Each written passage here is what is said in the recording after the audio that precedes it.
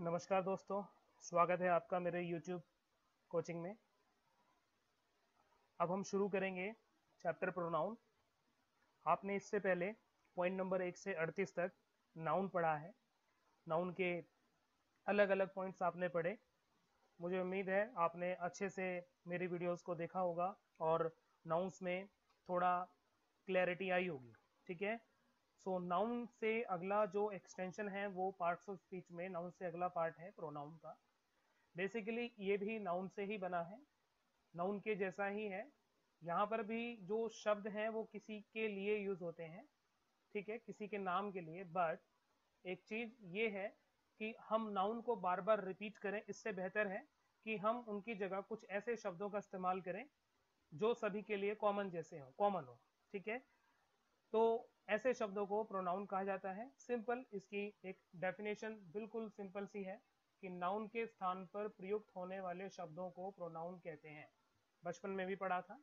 Ram is an intelligent student तो राम की जगह पे ये जो ही लगा दिया, इसका मतलब ये ही क्या है? राम की जगह यूज़ हो गया तो ये प्रोनाउन है। क्लियर है? मैंने बार, मैंने फिर से ये बात लिखी हुई है कि बार बार प्रयोग बार बार प्रयोग नहीं करना चाहिए। ये एक गलत प्रैक्टिस होती है इंग्लिश में। इसीलिए नाउ प्रोनाउन को प्रोनाउन का यूज़ हम बार बार करेंगे, ठीक है? नाउन का यूज़ नहीं करेंगे। तो बढ़ते हैं आगे।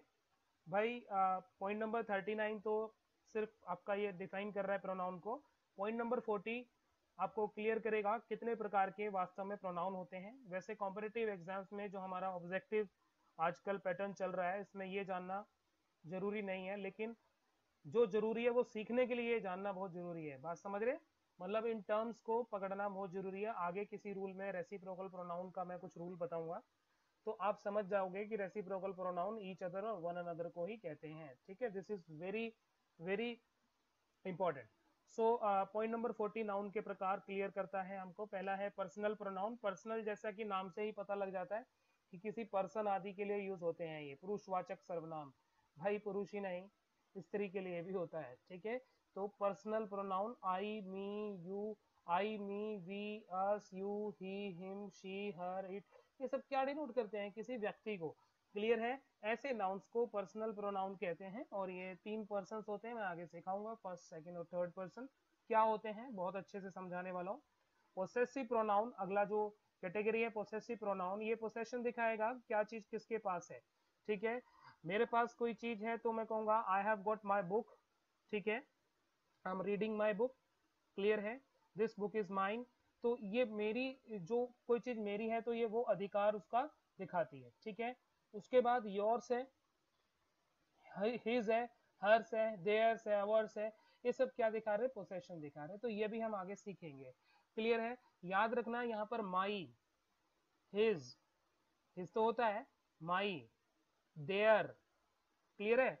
यहाँ पे देखो, यहाँ पे जो है, देयर के, देयर्स लिखा हुआ है। यहाँ पे देयर नहीं लिखा हुआ है। देयर्स ही प्रोनाउन है, देयर एडजेक्टिव होता है। ठीक है? क्लियर है? तो देयर्स जो है, वो प्रोनाउन है और देयर एडजेक्टिव है। Hers similarly H E R S hers जो है, वो प्रोनाउन है। ठीक है? हर्स प्रोनाउन है, लेकिन हर जो होता है विदाउट एस जो वर्ड होता है that is not pronoun that is adjective because वो किसी नाउन वादी से पहले लगता है, और ये सब शब्द हैं। ये वाले जो शब्द हैं, ये सारे के सारे शब्द प्रोनाउन जो पोसेसिव प्रोनाउन जो है, ये आपके कहाँ यूज़ होंगे? ये यूज़ होते हैं किसी भी, कहीं पर भी यूज़ हो सकते हैं जनरली सेंटेंस के बाद में। तो these are not adjective these are just pronouns उसके बाद आगे बढ़ते हैं डेमोस्ट्रेटिव प्रोनाउंस डेमोस्ट्रेटिव प्रोनाउंस क्या शो करते हैं? डेमोस्ट्रेट करते हैं कि ये है, वो है क्लियर है दिस दैट दीज दोज आदि ये शो करते हैं कि this is my this is my friend clear है? That is my dog these are my close clear है? दोज आर माई टीचर्स ये सब है कि भाई आप पॉइंट आउट करते हैं दिस या दैट ये वाला कि वो वाला। ठीक है? सो ये इनको ऐसे प्रोनाउंस को डेमोस्ट्रेटिव प्रोनाउन कहते हैं। उसके बाद डिस्ट्रीब्यूटिव प्रोनाउन आता है। डिस्ट्रीब्यूटिव प्रोनाउन डिस्ट्रीब्यूटिव का मतलब है? आप इस तरह का यूज़ करते हैं कि भाई कुछ चीज़ डिस्ट्रीब्यूट कर रहे हैं कि each either neither every none etcetera clear है? Each of the student will have his share. Either of you will go to market, neither of will go outside in the night. Everybody of you, every one of you. तो इस तरह से कुछ हम इस तरह का डिनोट करते हैं कि चीज़ें या तो कुछ लोगों में या सभी लोगों में, है ना, या किसी में नहीं, हम एक डिस्ट्रीब्यूशन करते हैं किसी ऑर्डर का, किसी आदेश, आदि का, किसी एफर्मेशन का। उसके बाद आता है रेसिप्रोकल प्रोनाउन भाई रेसिप्रोकल सिंपल है, ये मैथ में रेसिप्रोकल बहुत पढ़ा है, ठीक है? रेसिप्रोकल का मतलब होता है उल्टा होना। ईच अदर बोला तो दोनों के बीच में रहेगा। वन अनदर हो गया तो एक से ज़्यादा लोगों के लिए वन अनदर का यूज़ हम लोग करते हैं। ठीक है? हम सीखेंगे सारी चीज़ें बाद में। Everything I be telling in details और आप बहुत अच्छा एक्सपीरियंस लेने वाले हैं। नाउन प्रोनाउन आपने इससे पहले इतना बढ़िया कहीं नहीं पढ़ा होगा। आई बेट ठीक है? आगे बढ़ते हैं। Reflexive pronoun reflexive pronoun reflect होकर। रिफ्लेक्ट मतलब परावर्तन होना, है ना? अपने ऊपर ही बात आ जाना। अपने ऊपर ही बात आ जाना। जैसे जैसे he got himself he got hurt himself ठीक है? उसने अपने आप को ही चोट पहुंचाई। क्लियर है? समझ में आ रहा है? You are you are abusing yourself तुम अपने आप को ही गाली दे रहे हो। क्लियर है? समझ में आ रहा है? तो जो चीज़ रिफ्लेक्ट होके अपने ही ऊपर आ जाए, इस तरह के वाक्यों में, जब इस तरह की चीज़ों को वाक्यों में व्यक्त करते हैं तो रिफ्लेक्सिव प्रोनाउन का यूज़ होता है। उसके बाद एम्पेथेटिक और एम्फेसाइजिंग प्रोनाउंस ठीक है ना? तो एम्फेसाइजिंग मतलब चीज़ों पर ज़ोर डाल रहे हैं, दबाव डाल रहे हैं, ठीक है ना? कब मैं खुद कर लूँगा? I will do it myself देखो माई सेल्फ जो है, वो ऊपर भी था और माई सेल्फ यहाँ भी है। सिमिलर वर्ड्स हैं सारे के सारे, आप देख रहे हैं? ये ourself yourself your ये सब जो है, एक जैसे शब्द हैं। क्लियर है? लेकिन फ़र्क इतना है कि नीचे वाले एम्फेसाइज के लिए है। यही वर्ड माई सेल्फ रिफ्लेक्सिव हो जाएगा जब मैंने वो एग्ज़ाम्पल दिया कि आई हर्ट माई सेल्फ मैंने अपने आप को चोट पहुंचाई। ठीक है ना? आई इंजर्ड माई सेल्फ मैंने अपने आप को चोट पहुंचाई। क्लियर है? बट अगर मैं बोलूँ I will do it myself तो मतलब मैं इसे खुद करूँगा। अब ये ज़ोर डाल के मैं इस बात को कह रहा हूँ तो ये एम्फेसाइजिंग प्रोनाउन हो गया। क्लियर है? Ourself self yourself yourself himself herself itself themself oneself clear है? सब्जेक्ट पर ज़ोर डालने के लिए होता है कि वो खुद ही करेगा। समझ में आ रही है बात? ठीक है ना? तो यहाँ पर आगे बढ़ते हैं, कुछ एग्जाम्पल्स के आप गो थ्रू हो सकते हैं। आगे जो है पॉइंट नंबर इसमें सब पॉइंट नंबर आठ में क्या दिया हुआ है? कौन सा प्रकार है? इंडेफिनेट प्रोनाउन का। इंडेफिनेट प्रोनाउन आपको पता नहीं है कौन है, बस आप ऐसे ही बोल देते हैं कि एवरीबडी एवरीबडी में तो कोई भी हो सकता है we don't know the actual number ठीक है exact number we don't know so यहाँ पे everybody somebody please somebody help me तो समबडी में से कोई भी उठ के आ सकता है तो this is not definite this is indefinite और ये भी नहीं पता कि होगा कि नहीं होगा। नो बडी एनीबडी एवरीबडी ये बडी समवन ये सब जो है इनडेफिनेट प्रोनाउंस में आ जाते हैं। आगे देखो आपका थिंग वाले आगे nothing anything all some both another much few little ये सब एक डेफिनेट uh, चीज़ को इशारा की तरफ़ इशारा नहीं करते। ये सिर्फ़ एक इंडेफिनेट सेंस ही देते हैं। इसीलिए इनको इंडेफिनेट प्रोनाउंस हम कहते हैं। उसके बाद रिलेटिव प्रोनाउंस आ जाता है। रिलेटिव प्रोनाउंस जो है आपस में बताते हैं। वैसे रिलेटिव प्रोनाउंस जो है कंजंक्शन के तौर पर भी यूज़ होते हैं। ये सेंटेंस के दो भागों को जोड़ते हैं दो या दो से अधिक भागों को ठीक है? और आ, ये किसी व्यक्ति के बारे में आगे फर्दर एक्सप्लेनेशन देते हैं। The boy who playing in the field मतलब एक लड़का अब उसके बारे में व्याख्या कर रहा हूँ। कि जो पार्क में खेल रहा था, जो फ़ील्ड में खेल रहा था तो हु से इस बात को आगे बढ़ाया गया? तो हु है हुम है हु मतलब कौन? है ना? वैसे तो ये एक इंटेरोगेटिव प्रोनाउन का भी एक पार्ट है डब्ल्यू एच फैमिली क्वेश्चन जिससे करते हैं, लेकिन हम इसको रिलेटिव प्रोनाउन के तरह भी यूज़ हम लोग करते हैं। हुम हुज विच दैट ये सब जो है आपके रिलेटिव प्रोनाउन के एग्जाम्पल्स हैं, और यही वर्ड्स इंटेरोगेटिव प्रोनाउन में हो जाते हैं, अगर हम कोई क्वेश्चन कर रहे हैं तो हु का मतलब कौन हो जाता है? ठीक है ना? हुम का मतलब किसको? हुज का मतलब किसका? विच का मतलब कौन? क्या? ठीक है?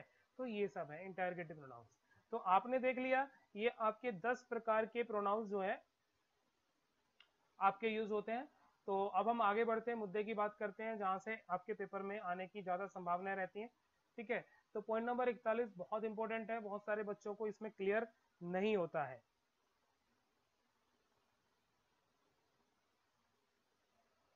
41 नंबर पॉइंट बताएगा कि नाउन्स में जो पर्सन होते हैं एक्चुअली पर्सनल प्रोनाउन आपने पढ़ा जो पहला ही था, ये उसी के बारे में है।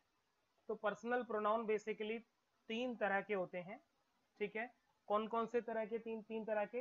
भैया फ़र्स्ट यहाँ पर एक पहला हो गया फ़र्स्ट पर्सन फिर हो गया आपका सेकंड पर्सन फिर हो गया आपका थर्ड पर्सन ठीक है? ये जो फ़र्स्ट पर्सन सेकंड पर्सन और थर्ड पर्सन दे रखे हैं आप ये समझ लो, ये कॉन्सेप्चुअल बात है, ये रटने वाली बात नहीं है। इनको कैसे समझा जाएगा? फ़र्स्ट पर्सन किसको कहते हैं? जब दो लोग आपस में बात कर रहे होते हैं। सपोज़ कीजिए मैं आपसे बात कर रहा हूँ तो मैं जब अपने साइड से बोल रहा हूँ तो मैं अपने लिए फ़र्स्ट पर्सन हूँ और आप सेकंड पर्सन हो। और हम दोनों के अलावा जो तीसरा व्यक्ति, जो तीसरी दुनिया है, वो सब थर्ड पर्सन में आता है। तो ठंडे दिमाग से सोचो, जब मैं अपने लिए, अपने बारे में कुछ शब्द यूज़ करूँगा तो मैं अपने को डिनोट करने के लिए या तो मैं अपने आप को देखो, मैं बोलूँगा या हम बोलेंगे, है ना? या तो मैं अपने आप को आई से डिनोट करूँगा, या फिर मैं अपने आप को वी से डिनोट करूँगा। क्लियर है? समझ में आ रही है? ओनली आई या वी से ही डिनोट कर सकता हूँ। इसके अलावा तो कुछ नहीं। अपने आप को और कुछ तो नहीं कह सकता, अपना नाम लेना भी अजीब लगेगा, है ना? तो मैं अपने आप को आई और वी से तो मैं अपने लिए क्या वर्ड यूज़ करूँगा? तो that is the first person it depends upon the person it depends upon the speaker जो वो बार बात कर रहा है। आपकी साइड से आप फ़र्स्ट पर्सन हो और आपके लिए मैं सेकंड पर्सन हो। मेरी साइड से मैं फ़र्स्ट पर्सन हूँ और आप जो है मेरे लिए सेकंड पर्सन है। अब इसके बाद सेकंड पर्सन की बात आती है तो मैं आपके लिए कौन सा शब्द यूज़ करूँगा? सिर्फ़ आप, यानी कि यू मैं आपको ही नहीं कह सकता हूँ। जब हमारी बातचीत हो रही होगी कि भाई ही सुन, ही तो नहीं होगा ना? तो यू होगा। क्लियर है? यू का यूज़ कर सकता हूँ। यू प्लीज़ लिसन है ना? तो ये होगा। तो ये जो है सेकंड पर्सन में सिर्फ़ यू ही आता है।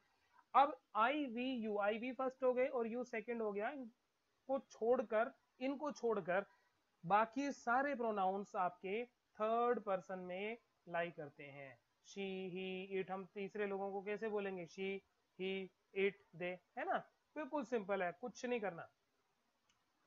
ये तो हो गई फ़र्स्ट पर्सन सेकंड पर्सन और थर्ड पर्सन की बात। क्लियर है? इसमें क्या सिंगुलर प्लूरल है? ये सब आप बेहतर समझते हैं कि आई सिंगुलर है वी जो है प्लूरल है यू सिंगुलर प्लूरल दोनों हो सकता है, लेकिन प्लूरल यूज़ करते हैं हम लोग उसको। ही शी इट सिंगुलर है और प्लूरल में दे आता है। तो बहुत आसान है।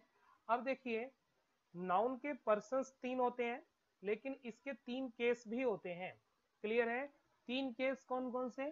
एक होता है नॉमिनेटिव केस क्लियर है? एक होता है ऑब्जेक्टिव केस एक होता है पोसेसिव एडजेक्टिव ये प्रोनाउन का पार्ट नहीं होता, फिर भी बताया जाता है। एक होता है पोसेसिव प्रोनाउन तो बेसिकली यहाँ पर जो है, हमारे पास तीन इसके पार्ट्स होते हैं। तीन केसेस होते हैं। नॉमिनेटिव ऑब्जेक्टिव और पोसेसिव समझ गए? तो ये तीन होते हैं। ये जो पोसेसिव एडजेक्टिव है ये जो पोसेसिव एडजेक्टिव है, ये एक अलग है, क्योंकि ये प्रोनाउन से मिलकर बना है बट ये प्रोनाउन नहीं है, ये एक एडजेक्टिव के तौर पर हम इसका यूज़ करते हैं। क्लियर है? तो ये होते हैं। अब आप ये समझ लो कि इनका मतलब क्या है। भैया, जब ये नॉमिनेटिव है तो ऊपर देखो लिखा हुआ सब्जेक्ट सब्जेक्ट कौन होता है? जो काम करेगा सेंटेंस में बेसिकली जो काम करेगा। ठीक है? अब जो काम करेगा तो वो करता हो गया, हिंदी में पढ़ते हैं हम लोग उसको। तो दैट इज़ कॉल्ड सब्जेक्ट तो ये जो सब्जेक्ट होता है ये जब कभी भी यूज़ होगा एज अ सब्जेक्ट तब इसका use I we you she he it है ना? दे ये सब के तौर पे होगा कि भाई आ, का, काम कौन कर रहा था? He was doing we were doing you were doing she was doing he was doing it it was doing है ना? वट एवर क्लियर है? Whatever be the subject it should be in the subjective form simple अब आते हैं object sentence में आई को object बनाया गया। आई काम नहीं कर रहा है काम कोई और कर रहा है, लेकिन इफ़ेक्ट आई के ऊपर है। ठीक है? तो वो हो जाता है ऑब्जेक्ट तो आई का ऑब्जेक्ट मी हो गया वी का ऑब्जेक्ट अस हो गया यू का ऑब्जेक्ट यू ही रहता है। शी का हर ही का हिम इट का इट ही रहेगा दे का दैम हो जाएगा। क्लियर है? तो he was working for me वो मेरे लिए काम कर रहा था। है ना? वी आर हेल्पिंग यू तो यू इसमें ऑब्जेक्ट हो गया, ठीक है?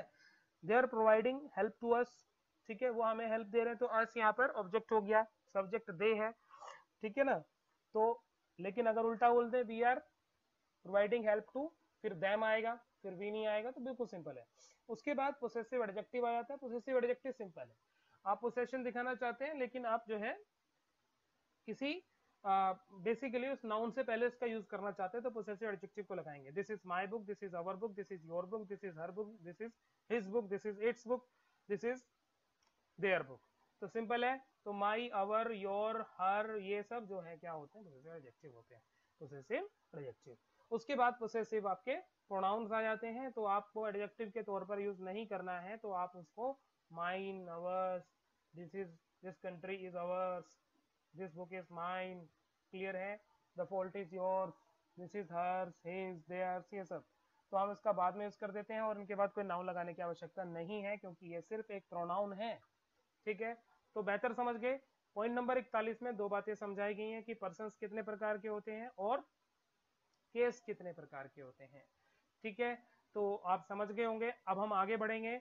पॉइंट नंबर 42 की तरफ़। पॉइंट नंबर 42 कहता है कि नॉर्मल सेंटेंस में देखो ये बहुत इंपॉर्टेंट बहुत इंपॉर्टेंट रूल है और उसमें कंफ्यूजन भी बहुत है और एक चीज़ मैंने यहाँ पर लिखी नहीं है जो मैं आपको वर्बली ही बताने वाला हूँ। गौर से समझ लीजिए नॉर्मल सेंटेंस में जो पर्सनल प्रोनाउन जब हम बोलते हैं नॉर्मल सेंटेंस का मतलब यहाँ पर है कि आप कोई आ, उल्टा पुल्टा काम नहीं कर रहे हैं डिस्प्लेजर वाला काम नहीं कर रहे हैं आप एक नॉर्मल काम कर रहे हैं ठीक है ना? जिसमें कोई क्राइम नहीं कर रहे हैं जिसमें कुछ आप बुरा नहीं कर रहे हैं ये सब चीज़ें। These are called normal sentences ठीक है ना? ऐसे सेंटेंस में अगर तीनों पर्सन आ जाएँ तो जो सीक्वेंस रहेगा that sequence will follow in two three one ठीक है? टू थ्री वन का मतलब क्या होता है? कि पहले सेकंड पर्सन आप जैसे ऊपर पढ़ के आए, फिर थर्ड पर्सन और लास्ट में फ़र्स्ट पर्सन भाई, यहाँ पर जो है, इस वाले रूल में मोरल वैल्यू को ध्यान में रखते हुए हम लोग इंग्लिश बोलेंगे, ठीक है ना? यहाँ पर मोरालिटी क्या डिनोट करती है? गांधी जी ने क्या कहा था? याद करो, ठीक है? अच्छा था या बुरा था, पता नहीं। बट देखो सिंपल सी बात है। अगर आप अच्छा काम कर रहे हो तो आप अपना नाम सबसे लास्ट में बोलोगे। पहले सारा, सारी दुनिया का नाम बोलोगे, फिर उसके बाद अपना बोलोगे। क्लियर है? तो यहाँ पर ये है। और अगर आप बुरा काम कर रहे हो तो अपना नाम सबसे पहले बोलोगे। ये वाली बात है भाई। ठीक है, ये कॉन्सेप्ट इधर फॉलो हो रहा है। और देखो, तीनों पर्सन एक साथ आ गए तो सबसे पहले सेकंड देखो यू ही एंड आई यहाँ पर तीन वर्ड है। क्या ये सीक्वेंस में है? सेकंड थर्ड फ़र्स्ट बिल्कुल सीक्वेंस में है। He and I have completed अब ऐसा नहीं है तीनों एक साथ आए, दो आगे तो। तो पहले थर्ड को रखना है आई को बाद में। बस इतना याद रखो कि अपने आप को सबसे बाद में डालो। क्रेडिट जितना जो बंदा दूर है हमसे, उसको ज़्यादा क्रेडिट देना है। और पास वाले को कम। ठीक है? अब एक चीज़ और कि यहाँ पर मैंने बताया नहीं है आपको। अगर सारे के सारे जो प्रोनाउन है, तीनों प्रोनाउन आपके अगर प्लूरल है तो वन टू थ्री के सीक्वेंस में ही आप जाएँगे। क्लियर है? अगर सारे के सारे जो है प्लूरल है, ठीक है?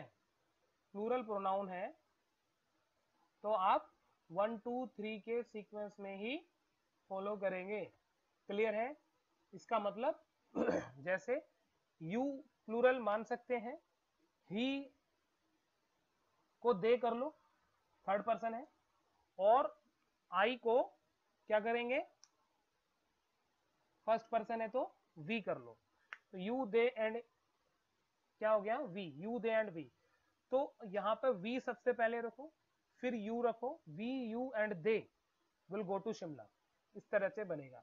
तो this rule is not followed in case there are plural personal pronouns ठीक है? आते हैं पॉइंट नंबर 43 पर। उसी का पार्ट है। अगर अनप्लीजेंट काम हो रहा है, जैसे क्राइम पाप, भूल उल्टे पुल्टे काम हो रहे हैं तो वन टू थ्री के सीक्वेंस में आप अपने सेंटेंस का ऑर्डर में अपने सेंटेंस में प्रोनाउंस को ऑर्डर में रखेंगे। क्लियर है? वन टू थ्री के सीक्वेंस में। ठीक है? जैसे एग्ज़ाम्पल देखो। एग्ज़ाम्पल क्या रख रहा है यहाँ पे?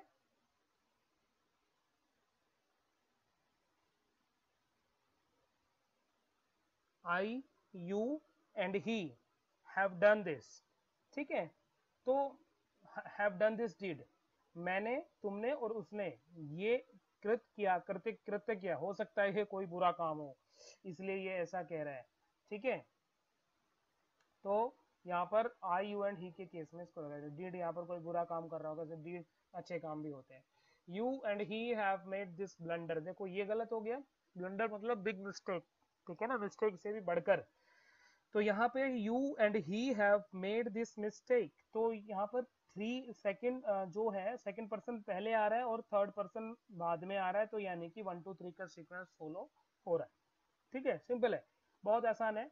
तो यहाँ पर आपने तीन बातें ध्यान में रखनी है। कौन सी तीन बातें? अगर अच्छा काम है तो टू थ्री वन में। प्लूरल है तो वन टू थ्री में और बुरा काम है तो भी वन टू थ्री के अंदर आपने यूज़ करना है अपने सीक्वेंस को। आगे बढ़ते हैं। पॉइंट नंबर फोर्टी फोर की तरफ़ आते हैं। भाई लेट के बाद प्रोनाउन के ऑब्जेक्टिव केस का प्रयोग होता है। ठीक है? पॉइंट फोर्टी फोर लेट के बाद प्रोनाउन के ऑब्जेक्टिव केस का प्रयोग होता है। ठीक है? ऑब्जेक्टिव केस पढ़ के आ चुके हैं आप। ऑब्जेक्टिव केस का मतलब जैसे कि आई की जगह आई का ऑब्जेक्टिव मी होता है ही का हिम होता है, ये सब। ठीक है ना? पर्टिकुलरली लेट के बाद इसका यूज़ होता है तो आप सब्जेक्ट का यूज़ नहीं करेंगे मतलब और ना ही आप पोसेसिव का। तो let him and me go okay यही राइट है क्लियर है? Let he and I go जो है वो गलत है। अब आते हैं पॉइंट नंबर 45 की तरफ़। पॉइंट नंबर 45 आपको क्या बता रहा है? कि प्रीपोजिशन के बाद ऑब्जेक्टिव केस का प्रयोग होता होता है, हो सकता है। क्लियर है? प्रीपोजिशन के बाद। समझ रहे एग्ज़ाम्पल से क्लियर आएगा कि he receives the money from me from I कहना इनकरेक्ट प्रैक्टिस है। बात समझ रहे ही?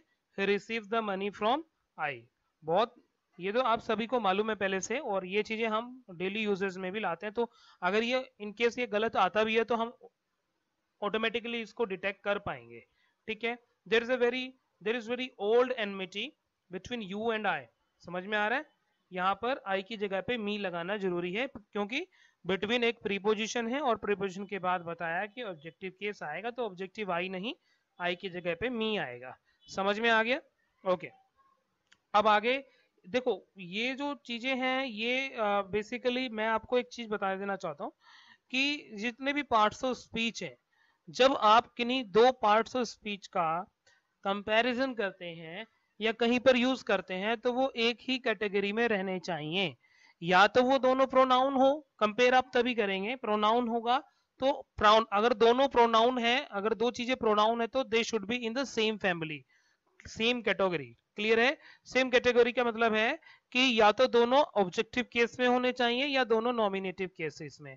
तो यहाँ पर बिटवीन जो है बिटवीन के बाद तो आप ऑब्वियसली आप बिटवीन के बाद तो आप कुछ और लगा ही नहीं सकते ऑब्जेक्टिव केस के अलावा तो यू भी ऑब्जेक्टिव रहेगा और आई भी ऑब्जेक्टिव ही रहेगा।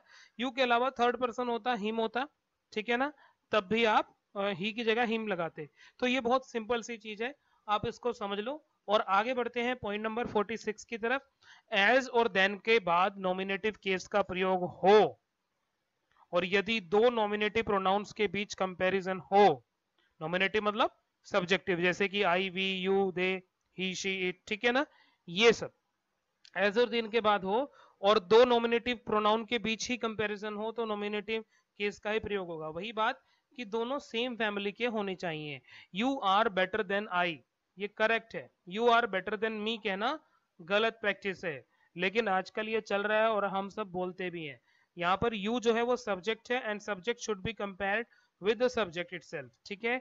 तो you are better than I आएगा I am better than you आएगा, ये सब होता है। ठीक है?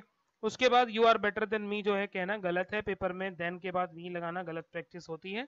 आप हटा के ज़रूर आई करिए इसको, ठीक है? तो ये है, आगे बढ़ते हैं। अब आते हैं पॉइंट नंबर फोर्टी सेवन की तरफ़। पॉइंट नंबर फोर्टी सेवन आपको क्या क्लियर कर रहा है? भाई कंपैरिजन आपने कर लिया। अगर पहला नॉमिनेटिव है तो दूसरा भी नॉमिनेटिव होना चाहिए, लेकिन अगर कंपैरिजन दो ऑब्जेक्ट्स के बीच में है तो देन के बाद ऑब्वियसली ऑब्जेक्टिव केस ही आएगा।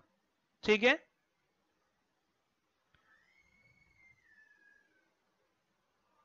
जैसे he respects you more than me है ना? यहाँ पर ही रेस्पेक्ट के बाद ऑब्वियसली एक ऑब्जेक्टिव एक ऑब्जेक्ट की ज़रूरत है और ऑब्जेक्ट मतलब ऑब्जेक्टिव केस ठीक है? Pronoun should be in the objective case so आप ही का कंपैरिजन नहीं कर रहे हैं। आप कंपेयर किसका कर रहे हैं? यू का और मी का। क्लियर है? ही तो अपना रिस्पेक्ट देने का काम कर रहा है। क्लियर है? बट वो रिस्पेक्ट करता है आपको, मुझसे ज़्यादा। तो आपका और मेरा रिस्पेक्ट के लेवल का कंपैरिजन हो रहा है तो इसलिए यू के से जो कंपेयर करेंगे, वो ऑब्जेक्टिव कंपैरिजन करेंगे, यानी कि यहाँ पर मी ही सही है। ठीक है? तो आगे बढ़ते हैं। पॉइंट नंबर 48 पॉइंट नंबर 48 क्या क्लियर कर रहा है? ईच का प्रयोग दो या दो से अधिक लोगों के लिए होता है। ठीक है ना? दो या दो से अधिक लोगों के लिए। ईच का प्रयोग दो या दो से अधिक लोगों के लिए होता है। आप सभी को ये बात पहले से ही पता होगी, ठीक है? Each of the two students each of the three students ठीक है? तो एक के लिए ये नहीं हो सकता है। सिंपल सी बात है। यहाँ पर एग्ज़ाम्पल से बिल्कुल क्लियर हो जाएगा आपको। दो के लिए भी होता है और दो से ज़्यादा के लिए भी होता है। Point number forty nine either और नाइदर का प्रयोग दो के लिए ही होता है और सिर्फ़ दो के लिए ही होता है। आइदर मतलब दोनों में से एक और नाइदर मतलब दोनों में से कोई नहीं। बिल्कुल सिंपल है। Either of you either of you will go to market और neither of you will go to market ठीक है ना? जहाँ पर आपने ऑफ़ आइदर लगाती है वहाँ पर समझ लो दो ही लोग हैं और जहाँ पर दो ही है, वहाँ पर आइदर और नाइदर ही लगेगा। क्लियर है? अब उसके बाद एक एग्ज़ाम्पल से इसको और क्लियर कर रहा है। याद रखिएगा नाइदर एक नेगेटिव वर्ड है और नेगेटिव वर्ड क्योंकि ये है तो इसके चलते एग्ज़ाम में प्रॉब्लम आती है। ये लोग एक नेगेटिव वर्ड है, इसलिए आपको कंफ्यूज करने के लिए नोट लगा के दे देते हैं। तो यहाँ पर नोट का प्रयोग ना करें। जैसे neither of the students is going to classes ठीक है ना? Neither of the students is going to classes मतलब रिमूव करना है यहाँ से क्या? नोट हमें हटाना है बिकॉज़ ऑलरेडी नाइदर के अंदर नोट छुपा हुआ है। ठीक है? उसके बाद ईच अदर एंड और वन अनदर ईच अदर और वन अनदर का मतलब होता है एक दूसरे से। ठीक है ना? ईच अदर और वन अनदर का मतलब एक दूसरे से। तो यहाँ पर ईच अदर का प्रयोग दो के लिए होता है। क्लियर है? और वन अनदर का मतलब दो, दो से ज़्यादा के लिए। सिंपल है?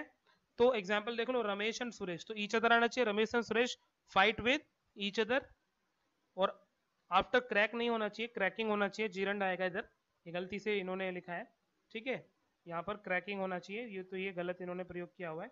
तो ये जो है after cracking the S S C C G L Ravi and Rajesh celebrated with each other ठीक है ना? तो ये भी एक अलग चीज़ है। ठीक है? सिंपल है।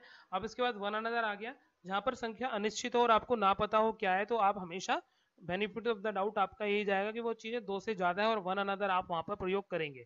ठीक है? जैसे रमेश, सुरेश एंड मुकेश, तीन लोगों के फाइट विद वन अनदर अब आने वाला है। ठीक है? अनवी इंडियंस अब नंबर्स डिफाइन नहीं है बट इतना तो श्योर है कि दो से ज़्यादा ही है सब, ठीक है तो we Indians should help one another हम भारतीयों को एक दूसरे की मदद करनी चाहिए. उसके बाद पॉइंट नंबर 51 में आ जाते हैं रिफ्लेक्सी प्रोनाउन रिफ्लेक्सी प्रोनाउन ऊपर बता चुका हूँ, जो रिफ्लेक्ट होकर अपने ऊपर ही घूमकर आ जाते हैं. ठीक है? तो रिफ्लेक्सी प्रोनाउन का मतलब आप समझ चुके थे कि भैया, कोई चीज़ आई हर्ट माई सेल्फ का एग्ज़ाम्पल मैंने दिया था. आई हर्ट माई सेल्फ का मतलब है कि मैंने अपने आप को ही हर्ट कर लिया. तो ये चीज़ घूम के मेरे ऊपर ही आ गई. तो ये है. अब यहाँ पर ये कहता है रिफ्लेक्सिव प्रोनाउन के अंदर कि फ़र्स्ट पर्सन सेकंड पर्सन के पोसेसिव और थर्ड पर्सन के ऑब्जेक्टिव के साथ सेल्फ या सेल जोड़कर रिफ्लेक्सिव या एम्पैथेटिक बनाए। सिंपल ये कहो कि भाई प्लूरल बनाना है तो सेल्फ या इसमें सॉरी सेल्फ लगा देंगे सिंगुलर है तो सेल्फ रखेंगे। ठीक है? ये सब आपको पहले से पता है myself himself yourself them self ठीक है? इसका ये अगला पॉइंट 52 में बताया गया है कि रिफ्लेक्सिव और एम्पैथेटिक प्रोनाउन में डिफरेंस क्या है। पहले मैं बता चुका हूँ कि एम्पैथेटिक प्रोनाउन में आपको ये बताएगा कि किसी चीज़ पर वो ज़ोर ज़्यादा डाल रहा होगा एम्फेसिस कर रहा होगा। रिफ्लेक्सिव प्रोनाउन का अर्थ होता है खुद को या स्वयं को और एम्पैथेटिक का होता है अर्थ, का अर्थ होता है खुद या स्वयं। देख लो खुद को या स्वयं को। तो ऐसा लग रहा है कुछ रिफ्लेक्ट होकर अपने ऊपर आ रही है खुद को और यहाँ पर है खुद मैं खुद करूँगा मैं स्वयं करूँगा I will do it myself ठीक है? अब इसके बाद एग्ज़ाम्पल देख लो he cheated on himself cheated on himself का मतलब क्या है? उसने अपने आप को धोखा दिया। तो रिफ्लेक्सिव वर्जन है he completed the work himself उसने अपने आप ही काम कर लिया तो ये एम्पेथेटिक है। ठीक है जी, आगे बढ़ते हैं। पॉइंट नंबर 53 के अंदर देखिए, ये यहाँ से इस चैप्टर के अंदर जो सबसे खास रूल है, वो यहीं से शुरू होता है और पेपर में यहाँ से बहुत बार आ चुका है। ठीक है? ये जितने भी आप वर्ड्स देख रहे हैं, उनके साथ रिफ्लेक्सिव प्रोनाउन यूज़ होगा। ठीक है? इन सबके साथ रिफ्लेक्सिव प्रोनाउन यूज़ होगा, जो वर्ड टफ है, मैंने उनकी मीनिंग्स भी बीच में डाल दी है। ठीक है? देखो एंजॉय पहला वर्ड है एंजॉय का मतलब क्या है? है ना? समझ रहे? अब यहाँ पर एक चीज़ याद रखना, अगर आप एंजॉय कर रहे हो तो उसके बाद कोई ऑब्जेक्ट देना ज़रूरी है कि भाई he enjoyed the party very much उसने पार्टी को एंजॉय किया। ही इंजॉयड द डे है ना? तो यहाँ पर उसने क्या कर दिया? एक ऑब्जेक्ट डाल दिया। उसने क्या इंजॉय किया? ये बात हम बता रहे हैं ना। तो अगर हम ये बता रहे हैं तो अब यहाँ पर कोई रिफ्लेक्सिव प्रोनाउन डालने की ज़रूरत नहीं है। लेकिन सपोज़ करो, आप ये ऑब्जेक्ट देते ही नहीं हो, आप बताते ही नहीं हो कि क्या एंजॉय कर रहे हो। तब ये माना जाता है कि आपने खुद ने एंजॉय किया तब आप himself herself yourself ये सब लगाते हैं। जैसे कि लास्ट ईयर मैं लास्ट ईयर मैं ऊटी घूमने गया और बहुत इंजॉय किया। ठीक है ना? Last year I had a tour of Ooty, ठीक है? And I enjoyed very much तो ये गलत है। I enjoyed myself very much ठीक है ना? अब आपको माई सेल्फ लगाना पड़ेगा। तो in case there is no object after enjoy after in fact all of these words you then you have to use the reflexive pronoun otherwise not ठीक है? तो pride he prides on himself ठीक है? ही prides ऐसे नहीं कह सकते। ही prides या तो बताओ किस चीज़ के ऊपर? He prides on the success of his children लेकिन उसे अपने ऊपर बहुत गर्व है। तो ही प्राइड्स नहीं बोलेंगे। He prides on himself absent he absented the class. Fine. अब किसी reflexive pronoun की ज़रूरत नहीं है, क्योंकि अब क्या है? उसने क्लास को एबसेंट किया है। तो अब यहाँ पे मेरे को किसी ऑब्जेक्ट की ज़रूरत नहीं है। क्लियर है? लेकिन ही एबसेंटेड येस्टरडे वो कल एबसेंट था। तब आप लगाएँगे ही एबसेंटेड हिमसेल्फ येस्टरडे ठीक है? प्रेजेंट मतलब अपने आप को प्रस्तुत करना। He presented him to me अब ऑब्जेक्ट डाल दिया उसने कि भाई उसने मुझे उससे मिलवाया, लेकिन उसने कहा, खुद को मिलवाया है तो ही प्रेजेंटेड हिमसेल्फ आएगा. इंट्रोड्यूस का भी सेम है केम बिज़ी बिज़ी जैसे बिज़ी तो आपका जो है वर्ब नहीं है, समझ में आ रहा है? ये वर्ब नहीं हो बाकी सारे वर्ब हैं तो ये वर्ब नहीं है, लेकिन फिर भी बिजीनेस हो सकता है, ठीक है ना? अवेल ही अवेल्ड हिमसेल्फ ठीक है ना? एड्रेस प्ल्यूम मतलब पर से सजाना अगर आप बताएँ कि he plume the chariot chariot मतलब रथ ऑफ़ श्री कृष्ण ठीक है ना? उसने श्री कृष्ण के रथ को परों से सजाया। तो फाइन यहाँ पर किसी रिफ्लेक्सिव प्रोनाउन की ज़रूरत नहीं है, लेकिन उसने अपने आप को ही सजा लिया, ठीक है? तो ही प्ल्यूम्ड हिमसेल्फ क्लियर है? ये होता है। He hurt himself very nice he hurt नहीं आएगा, अगर किसी दूसरे को या कोई ऑब्जेक्ट दे रखा है तो आ सकता है। Cheat he cheated himself he cheated on himself पीछे एग्जांपल में भी आ चुका है। प्रोस्ट्रेट का अर्थ होता है हरा देना बुरी तरह से। ठीक है resign he resigned from the office कोई दिक्कत नहीं है। ही रिजाइंड हिमसेल्फ ठीक है ना? फ्रॉम द ऑफ़िस या he resign the job clear है? तो अभी द जॉब आपके पास ऑब्जेक्ट है। लेकिन अगर ये ना हो तो आप क्या बोलेंगे? He resigned himself he applied himself he acquitted himself acquit मतलब बरी कर देना। असर्ट मतलब व्यक्त करना, ठीक है, बताना। तो ये सारे अगर वर्ब आपके सेंटेंस में आते हैं और कोई ऑब्जेक्ट ना हो, ये बात क्लियरली मैंने बोल दिया। अगर कोई ऑब्जेक्ट ना हो तो आप रिफ्लेक्सिव प्रोनाउन का प्रयोग करेंगे। नीचे एग्जाम्पल्स दिए हुए हैं। आप इनको गो थ्रू करिए और हर वर्ड के ऊपर पाँच पाँच एग्ज़ाम्पल बनाइए। ठीक है? एक बहुत अच्छी एडवाइस देना चाहूँगा। आप ये जो पॉइंट्स पढ़ रहे हैं मैं पढ़ा रहा हूँ आपको। एग्ज़ाम में इसकी गारंटी नहीं है, सिर्फ़ एक परसेंट गारंटी है कि याद रहेंगे। 99.99 परसेंट स्टूडेंट्स जो कि फेल होते हैं, वो इसी कारण से फेल होते हैं कि वो हर वर्ड की अलग अलग से सेंटेंस बनाकर नहीं देखते हैं। ठीक है ना? You have to form at least five sentences on each and every word what you are what you are learning from me like enjoy के ऊपर आप पाँच सेंटेंस बनाओ प्राइड के ऊपर बनाओ एबसेंट के ऊपर बनाओ, तब ये जो है ना, एक आदत में आपकी आएगा और फिर गलती नहीं होगी पेपर में, ठीक है ना?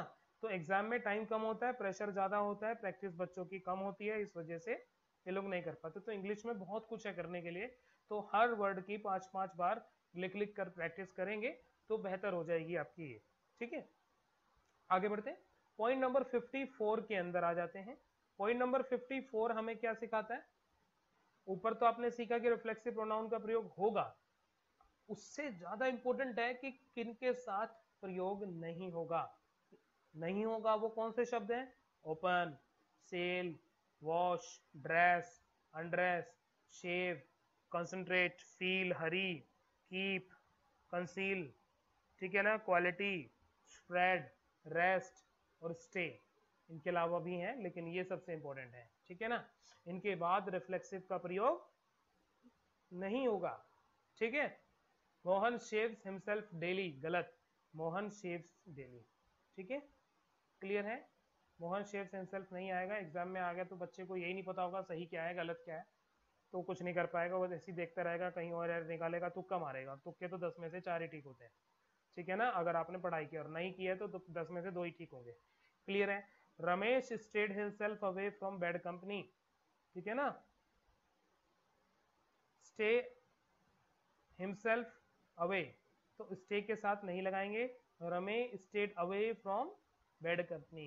ये जो ये जो यूज़ है स्टे का, ये दस बार मैं आपके पेपर में देख चुका हूँ। Very important very very important ठीक है?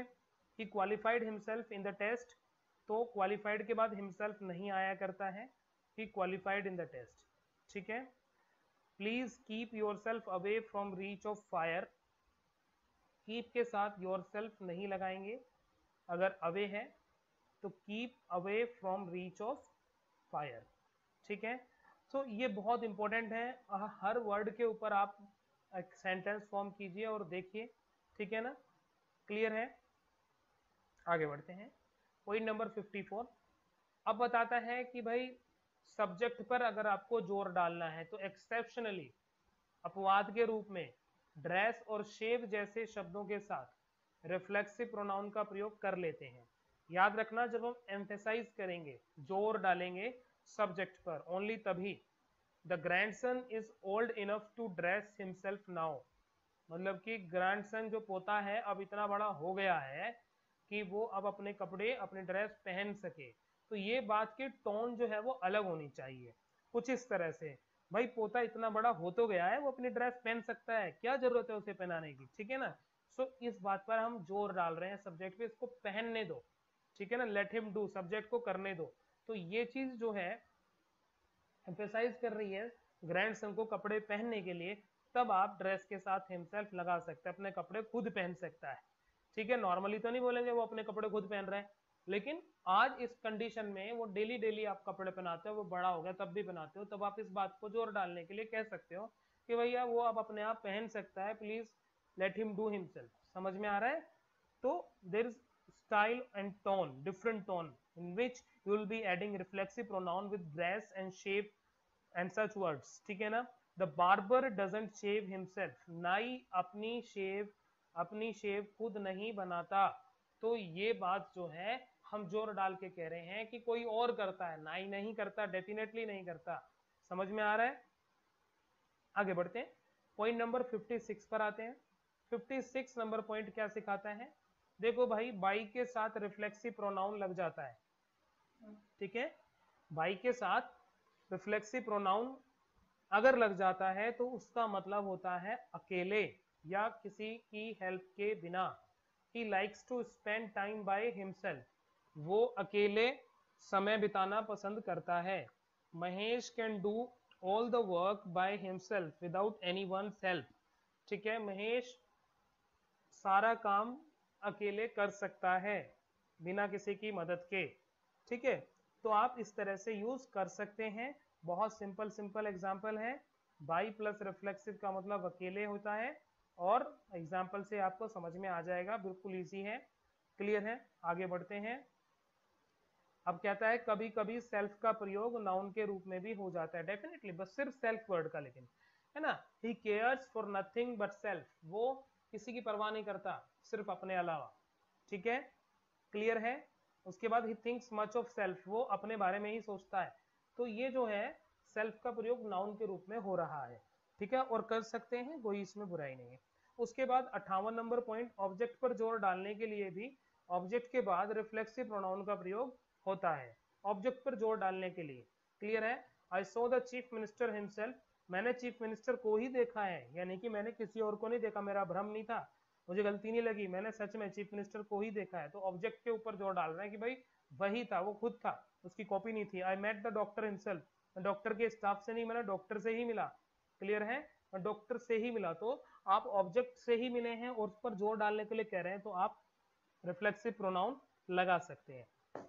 उसके बाद रिलेटिव प्रोनाउन वे शब्द होते हैं। अगला जो पॉइंट है, ये बता रहा है रिलेटिव प्रोनाउन वे शब्द होते हैं जो अपने पहले प्रयुक्त नाउन या प्रोनाउन का संबंध सेंटेंस से बताएँगे।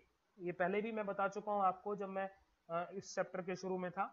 तो ये प्रोनाउन कंजंक्शन मैंने बताया था ना कंजंक्शन होते हैं कंजंक्शन की तरह कार्य करते हैं, क्योंकि ये कनेक्ट करते हैं सेंटेंस के दो या अधिक भागों को, ठीक है? और कनेक्टिव प्रोनाउन की तरह भी इनको कहा जाता है कनेक्टिव प्रोनाउन की संज्ञा भी दी जाती है, ठीक है ना? रिलेटिव प्रोनाउन में हु विच दैट ये सब जो आता है, वो होते हैं। और ये साठ नंबर पॉइंट में हमें क्या क्लियर कर रहा है? हु का प्रयोग। देखो रिलेटिव प्रोनाउन ही अब आगे बढ़ेगा। तो हु का मतलब क्या होता है? ह्यूमंस के लिए। हु का यूज़ कहाँ करते हैं हम लोग? ह्यूमंस के लिए। लोगों के लिए। विच का प्रयोग? नॉन ह्यूमंस के लिए। ह्यूमंस के लिए भी होता है, लेकिन बताऊँगा कहा? जनरली नहीं होता है। ठीक है ना? तो हु का ह्यूमंस के लिए हो गया विच का? वस्तुओं के लिए हो गया दैट का? दोनों के लिए। यानी ह्यूमंस के लिए और वस्तुओं के लिए, दोनों के लिए। और विच का हु या विच का प्रयोग डेफिनेट या इनडेफिनेट दोनों अर्थों में हो सकता है। डेफिनेट समझते हैं, निश्चित अनडेफिनेट मतलब निश्चित दोनों में इसका प्रयोग हो सकता है। और दैट का प्रयोग केवल हमेशा डेफिनेट अर्थ में ही होगा। एग्ज़ाम्पल से क्लैरिटी आएगी, पढ़ेंगे। एग्ज़ाम्पल क्या कहते हैं? The boy who stole my purse was a student तो हु आ रहा है? क्योंकि बॉय है, इसलिए हु आ रहा है। ठीक है? उसके बाद ये तो हो गया।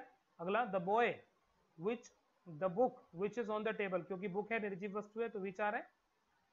The boy that is stole my purse was a student है ना? निश्चित रूप से डिनोट कराना चाहते हैं तो हम दैट लगाएँगे। ठीक है? The book that is on the table किताब जो कि टेबल पर है, वो मेरी है तो ये भी जो है, निश्चित रूप से डिनोट करना चाह रहे हैं। The book which I have read is costly तो यहाँ पे दोनों का प्रयोग कर सकते हैं। अगर ये डेफिनेट है तो दैट का है, और नहीं है तो हम विच का प्रयोग भी इसका कर सकते हैं बट ऐसा कुछ नहीं है। दैट का ज़्यादा सही है, अगर डेफिनेट आप रखना चाहते हैं। ठीक है? आगे बढ़िए, मज़ा आएगा। अब देखो, आगे और अच्छे पॉइंट्स हैं। एक और यहाँ पर एग्ज़ाम्पल पढ़ लें। I have read a book which is costly ठीक है ना? मैंने किताब पढ़ी है जो कि महँगी है। कितनी महँगी है, क्या है, और कुछ डिटेल नहीं है तो ऐसे केसेस में विच लगाना बेहतर है। Point number sixty one relative pronoun के संदर्भ में ही आपको समझा रहा है कि अगर सुपरलेटिव डिग्री आ जाए, समझते हैं सुपरलेटिव डिग्री आने वाले चैप्टर्स में मैं क्लियर करूँगा। जब आपका एडजेक्टिव चैप्टर शुरू होगा, तीन डिग्रीज होती हैं। Positive degree comparative degree and superlative degree good better best best superlative है। गुड जो है वो पॉजिटिव है और बेटर जो है वो कंपेरेटिव है। ठीक है ना? Beautiful more beautiful most beautiful most beautiful superlative degree. Idea मिल गया होगा अब आपको तो सुपरलेटिव डिग्री, या फिर ओनली या फिर नन या फिर ऑल एवरीथिंग ये इस तरह के शब्द आएँगे तो हु विच का प्रयोग गलत है। समझ में आ रहा है? दैट का प्रयोग सही है। ठीक है? तो all that glitters is not gold ना कि विच हर वो चीज़ जो चमकती है, वो सोना नहीं है। यहाँ पर विच ग्लिटर्स नहीं आएगा, पेपर में विच लगा के एक बार इन्होंने दिया है शायद। ठीक है? This is the best thing that I can do ठीक है ना? ये सबसे अच्छी चीज़ है जो मैं कर सकता हूँ। विच आई कैन डू करके भी एग्ज़ाम में आ सकता है तो वो काट के आप वहाँ पे दैट करेंगे। ठीक है? तो कितने अच्छे अच्छे एग्जाम्पल्स हैं। आप प्लीज़ पाँच पाँच एग्ज़ाम्पल बनाइए। पाँच एग्ज़ाम्पल ओनली के, पाँच नन के, पाँच ऑल के एवरीथिंग के। ठीक है ना? Everything what I was told ठीक है ना was a valuable in advice तो हर वो चीज़ जो मुझे बताई गई, वो एक कीमती एडवाइस थी। तो भैया, यहाँ पे that I was everything that I was told तो यहाँ पर विच आई वॉज़ टोल्ड नहीं आएगा, क्या आएगा? दैट आई वॉज़ टोल्ड आगे बढ़े। आगे देखिएगा। पॉइंट नंबर 62 पॉइंट 62 में हु एक नॉमिनेटिव केस है, तथा हुम एक ऑब्जेक्टिव केस है। अतः हु के बाद वर्ब आती है, ना कि हुम के बाद। हुम के बाद नहीं आती, ठीक है ना? हु क्या है? एक नॉमिनेटिव केस समझ में आ रहा है? यानी कि हु को यूज़ करना है एक सब्जेक्ट के तौर पर और हुम का यूज़ करना है एक ऑब्जेक्ट के तौर पर। इसलिए हु के बाद वर्ब आएगी और हुम के बाद वर्ब नहीं आएगी। याद समझ में आ रहा है ना? काम सब्जेक्ट करता है ऑब्जेक्ट नहीं करता है। काम जब सब्जेक्ट करेगा तो वर्ब भी उसी के बाद आएगी। सिंपल क्लियर है? बहुत अच्छा रूल है। ध्यान रखिएगा इसका। लेकिन ये सभी को मालूम है आज की डेट में द डॉक्टर हु आई है who I met today was Ram's brother clear है? भाई, काम कौन कर रहा है? एक बार बताओ, इस सेंटेंस के अंदर काम कर कौन रहा है? क्लियर है? डॉक्टर काम कोई कर रहा है? नहीं कर रहा है। समझ में आ रहा है ना? डॉक्टर काम नहीं कर रहा है तो आप यहाँ पर हु ना लगाएँ। यहाँ पर क्या लगाएँ? हुम लगाएँ। और हिंदी में भी मीनिंग देखो doctor who I met today was Ram doctor जिससे मैं मिला वो राम का भाई था। लेकिन ऐसे नहीं बोलोगे ना जिससे मिला। अब यहाँ पर जिससे को तो हुम से ही डिनोट करते हैं हम लोग। हुम का मतलब जिसको जिससे ये सब। है ना? Doctor whom I met today was Ram's brother clear है? द डॉक्टर हु क्योर्ड अब देखो डॉक्टर काम कर रहा है। क्या कर रहा है? क्योर कर रहा है। इलाज कर रहा है। तो डॉक्टर हु क्योर्ड अब हु आएगा? हुम नहीं आएगा। क्लियर है? समझ रहे हैं आप? तो आ, ये इस वीडियो का पहला पार्ट था। और आगे के जो पॉइंट्स हैं वो अब पॉइंट 63 ऑनवर्ड्स जो हैं, वो मैं अगली वीडियो में आपको देने वाला हूँ। क्लियर है?